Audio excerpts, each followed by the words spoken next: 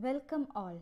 This video is on account of SIMAT Tech Expo 2020-21. Our project is WiTricity, a wireless solution for vehicle to grid. This project is guided by Professor Thangachan PV, HOD of EEE Department. Thank you for the valuable guidance, sir. The world is moving towards electrification. Of those, one of the main area of interest is that of electrifying vehicles.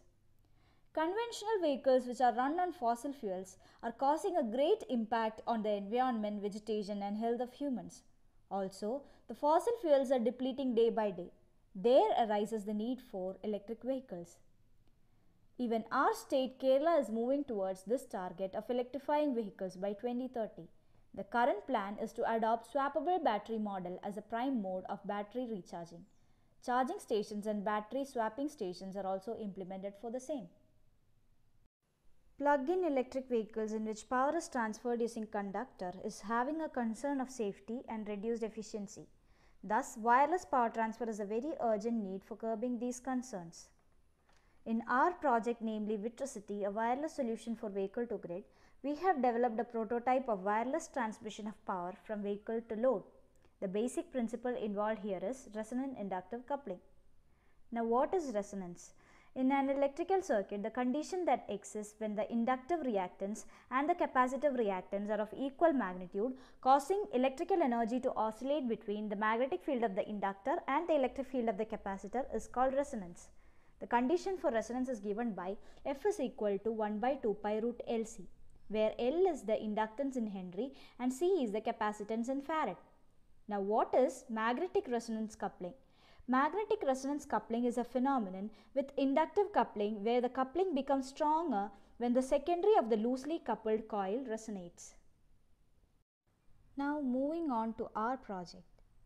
Here the battery of the vehicle is charged by using a solar panel on top of the vehicle which is very advantageous as it is a renewable non-polluting energy source. Now battery is a source for running the vehicle which is of 12 volt. The battery is connected to a low voltage tripping circuit.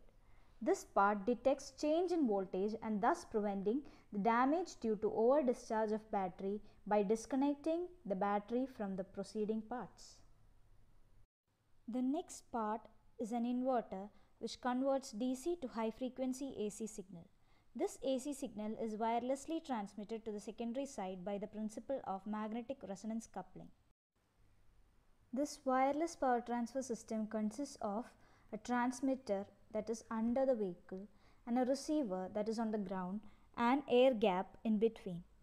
The concept of vehicle to grid aims at transferring power to grid for reducing the peak demand, thus reducing the cost of energy.